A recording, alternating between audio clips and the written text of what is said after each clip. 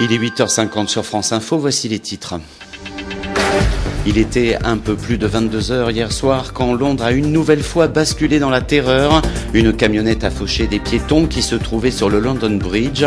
Trois hommes en sont descendus pour poignarder par la suite au hasard des personnes qui se trouvaient à proximité dans des bars et restaurants du quartier de Borough Market. C'est là d'ailleurs que les assaillants qui portaient de fausses ceintures explosives ont été tués par la police. Le bilan est lourd. On parle de six morts, sans compter donc les trois terroristes, mais également de 48 personnes hospitalisées. Parmi elles, deux Français dont un qui se trouve dans un état grave. Confirmée par Christophe Castaner, le porte-parole du gouvernement. Après cette nouvelle attaque, à quatre jours seulement des élections législatives, Theresa May présidera une réunion d'urgence dans la matinée. Il faut dire que c'est la troisième fois que la Grande-Bretagne est le théâtre d'une attaque terroriste en moins de trois mois maintenant, puisque le 22 mars à Londres, ce sont cinq personnes qui avaient été tuées. Deux mois plus tard à Manchester, en plein concert d'Ariana Grande, un homme s'était fait exploser, tuant 22 personnes et en blessant une centaine d'autres.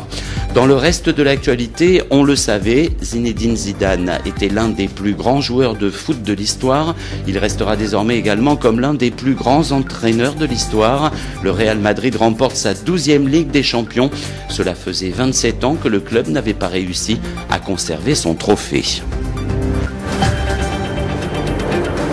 France Info.